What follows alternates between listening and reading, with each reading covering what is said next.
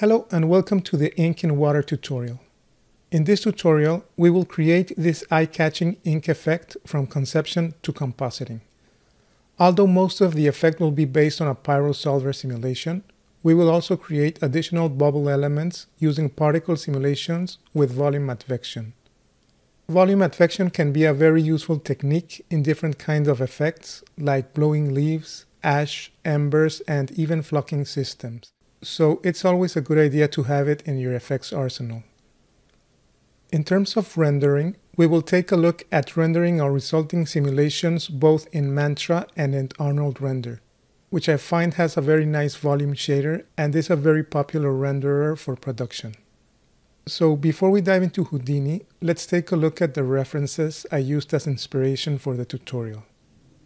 Although I went through several different references and each one has a slightly different look, I went for this kind of dense, very colorful ink, which I really liked. So notice how it has a look similar to smoke or clouds, and this is why I decided to go with a pyro simulation. But it also has very bright and vivid colors. Also notice in this second reference, we have some tiny bubbles that are following the motion of the ink and sometimes they rise, sometimes they're being pushed by the actual ink.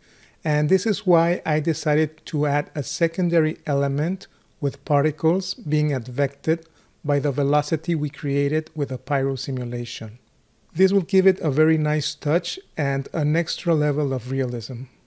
Finally, what I did that we may not see in these particular examples is a layer of small tiny bubbles or debris that you can often find in water tanks and I really liked this element combined with a very shallow depth of field which is also something I noticed in this kind of photography.